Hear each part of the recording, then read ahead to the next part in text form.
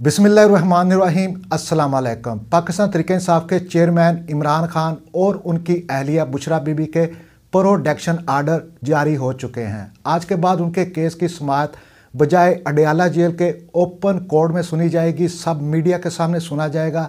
सब लोगों के सामने ओपन सुना जाएगा। ये बहुत अच्छी बात है, इससे दूध का दूध और पानी का पानी सबके सामने हो जाएगा। साफ़ ज़ाहिर हो रहा है कि ये केस ज़्यादा से ज़्यादा 10-15 दिनों में ख़त्म हो जाएँगे और इमरान खान बाइज़्ज़त बरी हो जाएँगे।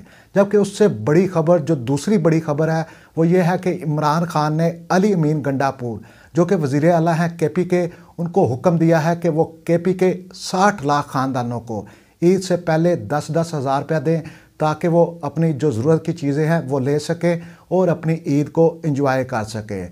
जबकि सुबह सिंध और बलूचिस्तान के गवर्नमेंट ने अपने लोगों को एक रुपए का भी रिलीफ नहीं दिया है और पंजाब की वज़ी अला ने पंजाब के लोगों के लिए दस किलो आटा, एक किलो चीनी और एक किलो बेसन दिया है।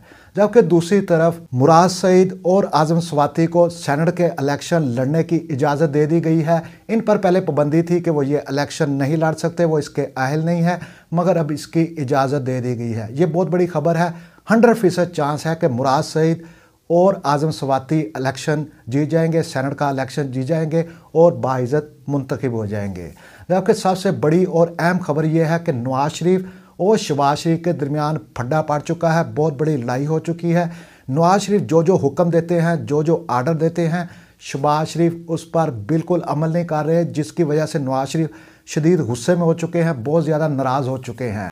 नवाज़ शरीफ की ख्वाहिश थी कि 2024 के इलेक्शन के बाद उसे वज़ी अजम बनाया जाए, पाकिस्तान का वज़ी अजम बनाया जाए, मगर उसकी जगह उसके छोटे भाई शबाज शरीफ को पाकिस्तान का दूसरी बार वज़ी अजम मुंतखब कर दिया गया है। नवाज़ शरीफ की बेटी को वज़ी अला बना दिया गया है, मगर नवाज़ इस पर खुश नहीं है।